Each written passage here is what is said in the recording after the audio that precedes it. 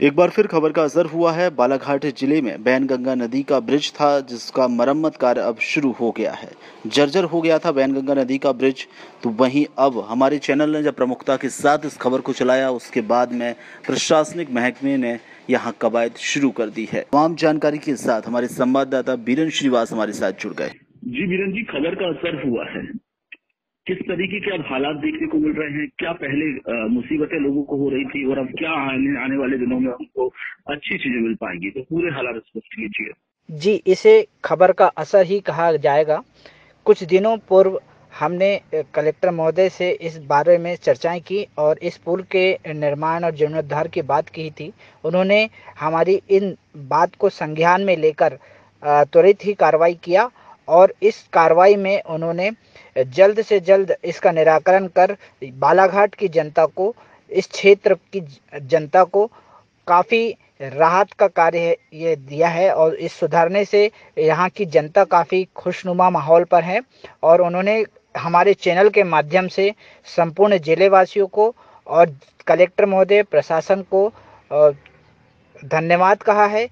कि इस क्षेत्र में जो भी कार्य जर्जर हालत पर है उसे भी त्वरित निराकरण कर इस ज़िले का विकास में साथ दें। जी तमाम जानकारी साझा करने के लिए शुक्रिया। सब आपको परिचय?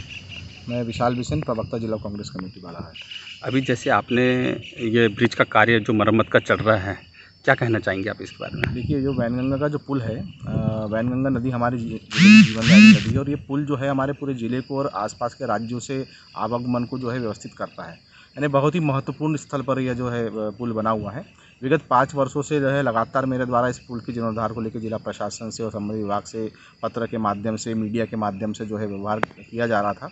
और जो है कल बहुत ही व्यवस्थित तरीके से संबंधित विभाग ने सेतु निगम और पीडब्ल्यूडी और जो भी विभाग इस काम को करते हैं, उन्होंने बहुत ही व्यवस्थित तरीके से जो है कल इस पुल को, का, जीर्णोद्धार शुरू किया और वो जीर्णोद्धार आज पूरा होता है दिखाई दे रहा है। मुझे हृदय से बड़ी खुशी है, इससे शहर के, ज़िले के और आसपास के अन्य राज्यों के लोगों को आवागमन सुविधा मिलेगी और पुल जो है लंबे समय तक सुरक्षित रहेगा।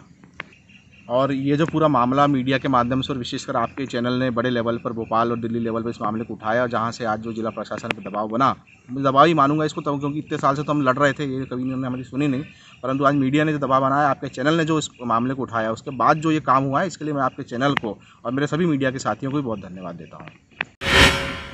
आराध्य साइनेज लेकर आए हैं।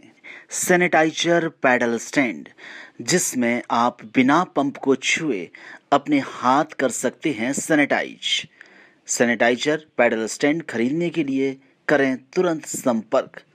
Mobile number seven six one zero five zero double one double one.